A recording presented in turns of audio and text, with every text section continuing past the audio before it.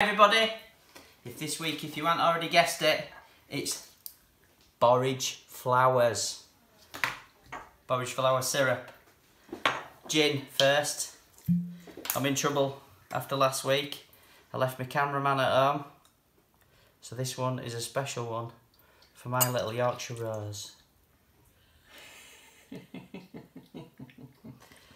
one good measure of gin in each. This week's super cocktail syrup, borage flower, as you've seen this week, 25ml of that. Look at that. Ooh, God, I'm getting good. One of them.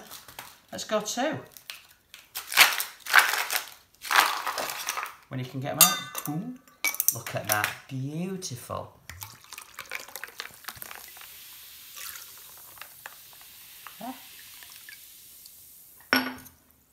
Little stir, little stir. One for my Yorkshire Rose. Happy Yorkshire Day. Cheers.